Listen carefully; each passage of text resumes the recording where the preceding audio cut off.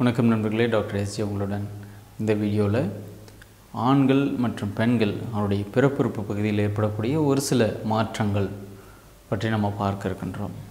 பெரும்பாலான ஆண்கள் எங்கிட்ட கேட்கின்ற கேள்வி வருகின்ற சிகிச்சைக்கு வரும்போது என்ன சொல்லுவாங்கன்னா என்னுடைய ஆண்குறி பகுதியில் நுனிப்பகுதியில் வந்துட்டு கீறல் விழுகிறது தானாகவே வெடிப்பு ஏற்படுகிறது.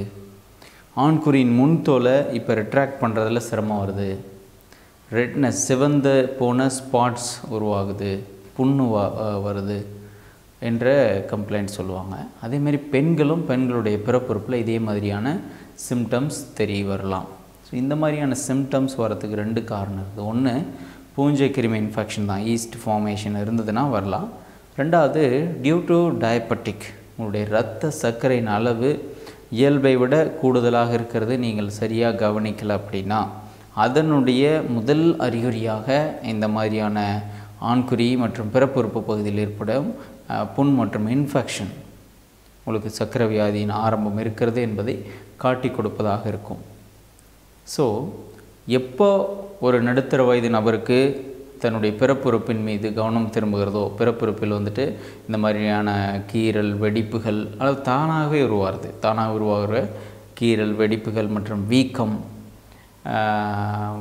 போன்ற விஷயங்கள் ஏற்பட்டுச்சு அப்படின்னா உங்களுக்கு முதலில் சந்தேகம் வர வேண்டியது என்ன அப்படின்னா உங்களுடைய இரத்த சர்க்கரையின் அளவு நம்ம போய் பரிசோதனை பண்ணி பார்க்கணும். சில பேர் என்ன பண்ணுவாங்க அப்படின்னா எனக்கு இருக்காது எனக்கு சர்க்கரை கண்டிப்பாக வராது எனக்கு இருக்க வாய்ப்பில்லை எங்கள் வீட்டில் யாருக்குமே இல்லை நான் நல்லா ஓடி ஆடி வேலை செய்கிறேன் எனக்கு எதுக்கு வருது சர்க்கரை அப்படின்னு சொல்லி தாங்க தாங்களாகவே நினைத்து கொண்டு இரத்த பரிசோதனை போய் பண்ண மாட்டாங்க. பட் நான் உங்களுக்கு வ- வலியுறுத்துவது என்னவென்றால் வெரி சிம்பிள் அது. உணவுக்கு முன் ஒரு சக்கரை பரிசோதனை உணவுக்கு பின் ஒரு சக்கரை பரிசோதனை பண்ணுங்கள் நார்மலாக இருந்துச்சுன்னா யாரும் வந்துட்டு இது நார்மல் இல்லைன்னு சொல்ல போகிறது இல்லை.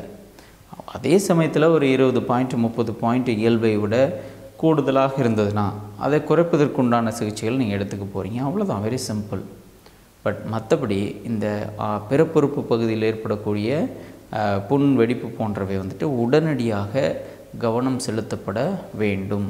அப்படி செ அப்படி செய்யும் பொழுது ஒரு விதின் செவன் டேஸ் ஒரு ஒன் வீக்கில் கம்ப்ளீட்டாக அது சரியாகிறதுக்கு வாய்ப்பு இருக்குது.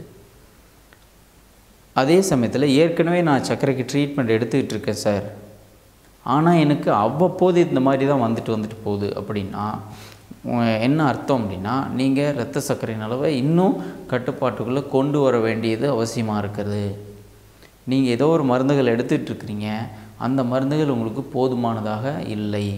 நீங்கள் உணவிலோ மருந்திலோ மருத்துவரிலோ ஏதாவது ஒரு மாற்றத்தை செய்ய வேண்டி இருக்கிறது என்பதற்கான அடையாளம் உங்களுக்கு அவ்வப்பொழுது இந்த சிறுநீர் பாதை தொற்று இந்த யுரத்ரா என்று சொல்லக்கூடிய அந்த சிறுநீர் நுனி நுனிப்பகுதியில் சிறுநீர் சிறு அந்த பிறப்புறுப்பின் நுனிப்பகுதியில் ஏற்படக்கூடிய புண் மற்றும் இன்ஃபெக்ஷன் ஸோ இதை குறைவாக எடுத்துக்க வேண்டாம். குறிப்பாக ஆண்களுக்கு என்னாகும் அப்படின்னா இந்த ஆண்குறி பகுதியில் ஏற்படக்கூடிய புண் வெடிப்பு போன்றவை ஒரு தற்காலிக ஆண்மை குறைவு கொண்டு வரும். தற்காலிக ஆண்மை குறைவு.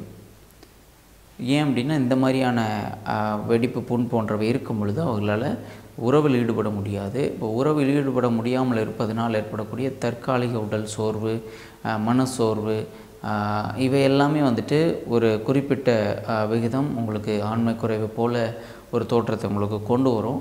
பட் டெஃபினட்டாக இதை நான் சொல்கிற மாதிரி முறையாக நீங்கள் போய் ட்ரீட் பண்ணிடுறீங்க. போய் செக் பண்ணி அதை கண்டுபிடிச்சி பார்த்துக்குறோம் அப்படின்னா பெரும்பாலும் வந்துட்டு உங்களுக்கு அது எந்த விதமான பிரச்சனையும் உண்டு பண்ணுவதில்லை. ஸோ ஃபைனலி நான் இதை கன்க்ளூட் பண்ணுறது எப்படின்னா ஆண்குறி மற்றும் பெண் உறுப்பினுடைய பகுதியில் ஏற்படக்கூடிய இந்த கிருமி தொற்று இந்த இன்ஃபெக்ஷன் ஆனது உங்களுக்கு உங்கள் சர்க்கரையின் அளவு அதிகமாக இருப்பதாக இருக்கலாம். அதனுடைய அறிகுறிகளாகவும் இருக்கலாம் என்பதை நீங்கள் தெரிந்து கொள்ள வேண்டும் என்பதுதான் இந்த வீடியோனுடைய நோக்கம். அடுத்த வீடியோவில் பார்க்கலாம். நன்றி வணக்கம்.